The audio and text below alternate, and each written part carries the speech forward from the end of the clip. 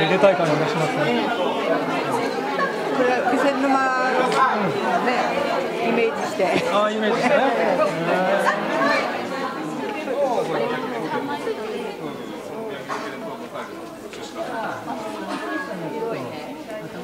ね。郷土愛を大切にして郷土の方言とかそういったものを形にしたいと思ってあの資料にもございます通り作っております石巻市押鹿地区の主に鮎川と久久成浜に住む被災して被災した人たちと12名でエコたわしを作って販売全国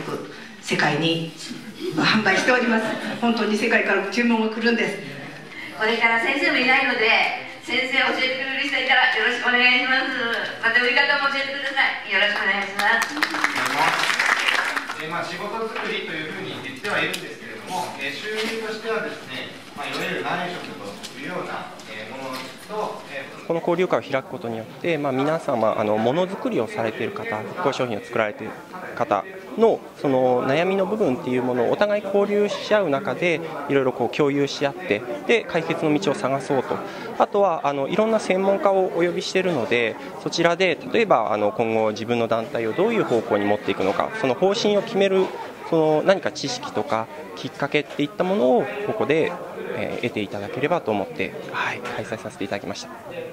えっとですね、今、30団体以上だとは思いますね、今後、じゃあこの団体どうしていこうか、維持していくのか、発展させていくのか、それともある程度までやって、でそれで一区切りつけてやめちゃおうかっていう、その方針のところを、割とまだあの未確定のままずっと進んできてる、ともかく前進んでる団体さんが非常に多いです。なので今後どうしていくのか他の団体はどうしていってるのかっていうところの悩み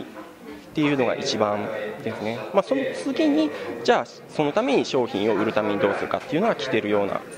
感じはします。まず今回実験的にしあのさせていただいてで皆様からの意見もまたいただきましてであの継続的に一応やっていければとは思っています。ただその内容はちょっと今後具体的にまた変えてはいくのでまたその点は告知はさせていただきます。はい。はい、わかりました。ありがとうございます。こちらよろしくお願いします。ありがとうございました